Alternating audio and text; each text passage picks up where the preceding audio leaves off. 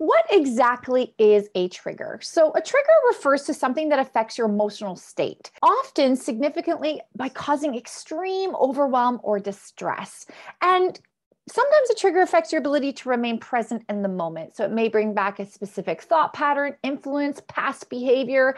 And triggers are widely, uh, they could be internal and external. And that comes from Crystal Raypole. She's explaining that your trigger might show up differently today versus tomorrow. And as I go in through, I'm going to storytell a little bit about my trigger stories and how I came to exploring what that looks like and diving a little bit deeper into that.